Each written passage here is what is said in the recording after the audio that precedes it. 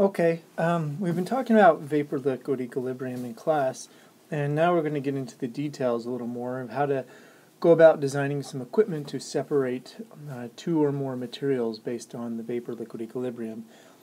And the first thing, uh, well, the equipment that we're going to be talking about are flash drums. So let me just give you an introduction to flash drum distillation.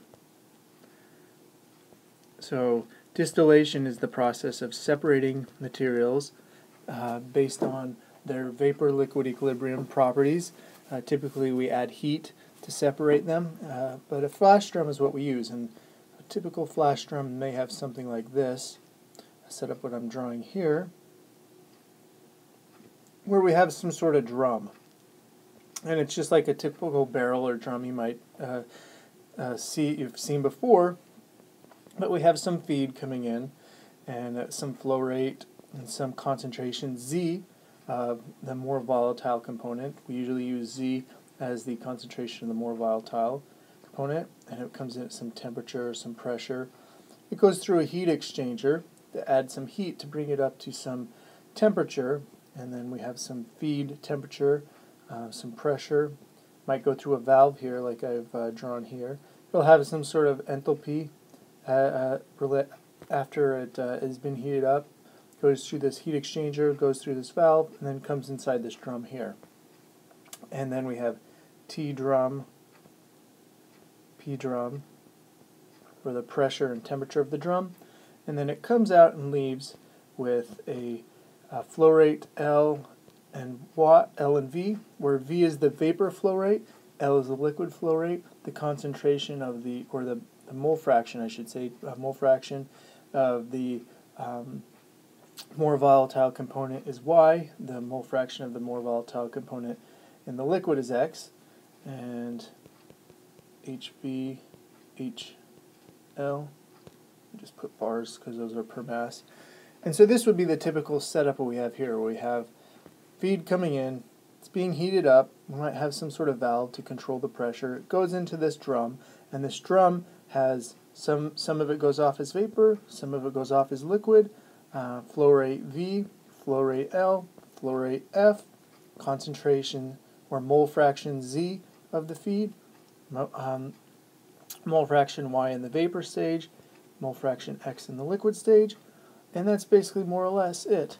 Inside the drum, let me just give you a schematic of inside. What we'll typically have is some sort of liquid, so we'll have vapor, liquid, and those two are in equilibrium with each other, and the vapor comes off, and the liquid comes off.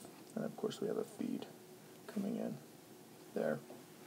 But that's the typical setup of a drum. Um, give you a simplified view, which we'll oftentimes use. F and Z, V, Y, L, X, feed rate of the feed, feed rate or the exit rate of the vapor, exit rate of the liquid, mole concentration of the more volatile component Z, mole uh, fraction of the more volatile component Y in the vapor stage, and then mole fraction X. We can write out um, some material balances. So let me go ahead and write some of those. Um, this should be second nature hopefully to you by now, or almost getting to be second nature. So that's our material balances. We can write out an energy balance.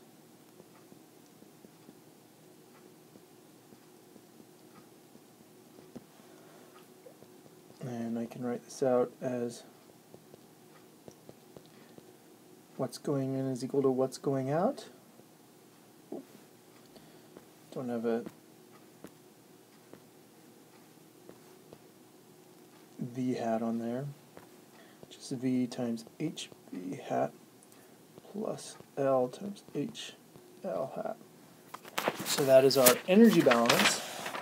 And when we go about solving or designing a flash drum, these are the type of variables we have to worry about right here. These are the type of equations that we work with. Uh, we're probably not going to work too much with the energy balances, mostly using material balances, but we'll see this in the uh, um, future uh, discussions or lectures. But that's pretty much it, how the, the basics of flash uh, drum distillation. Um, and the more, again, the more volatile component ends up here, while the less volatile component is um, concentrated in the liquid phase. Um, if you want to see more details on flash drums, see what they actually look like or so forth, you could just Google flash drum and look at some images and you'll see some um, images of actual flash drums. So there you go. Thanks.